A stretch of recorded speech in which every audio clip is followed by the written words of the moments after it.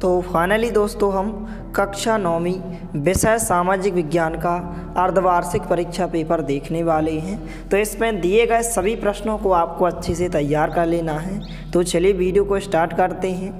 तो यहाँ पर सबसे पहले हम वस्तुनिष्ठ प्रश्न देख लेते हैं।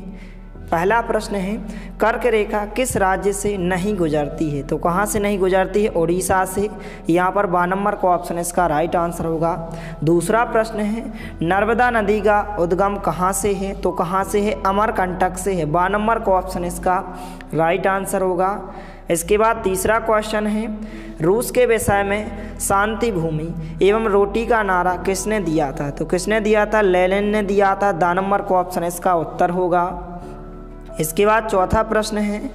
अमेरिका के सैनिक अड्डे पर्ल हार्बन पर बमबारी की थी। किसने की थी? जापान द्वारा की गई थी। दा नंबर का ऑप्शन इसका आंसर होगा। इसके बाद जो है, पांचवा प्रश्न है। निम्न में से कौन सी लवड़ीय जल वाली झील है? तो कौन सी झील है यहाँ पर? सांभर झील हो जाएगी। आ नंबर का ऑप्शन इसका उत्तर होगा। इसके बाद प्रश्न छः है, ग्रीष्म ऋतु में उत्तरी मैदानों में बहने वाली पवन को निम्नलिखित में से क्या कहा जाता है? तो क्या कहा जाता है? लू कहा जाता है। सा नंबर का ऑप्शन इसका उत्तर होगा। इसके बाद प्रश्न क्रमांक दो में इस प्रकार से रिक्त स्थान पूछे गए हैं। इनका आप स्क्रीनशॉट ले सकते हैं। इनको आपको अच्छे से तैयार कर लेना है। इसके बाद प्रश्न क्रमांक तीन में सही जोड़ियाँ पूछी गई हैं। इनको भी आपको अच्छे से तैयार कर लेना है। इसके बाद जो है प्रश्न क्रमांक चार है, एक शब्द या एक वाक्य में उत्तर। इस प्रकार से प्रश्न पूछे गए हैं। सभी प्रश्नों का आप स्क्रीनशॉट लेते जाइए और इनको आपको अच्छे से तैयार कर लेना है।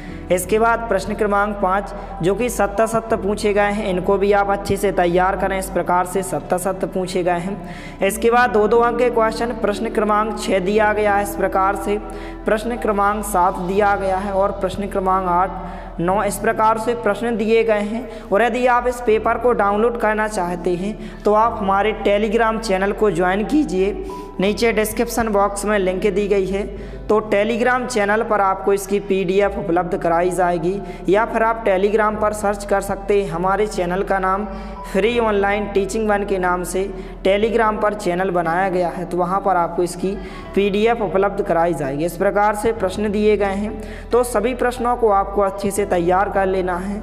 मिलते हैं अगले वीडियो में। तब तक के लिए जय हिंद, वंदे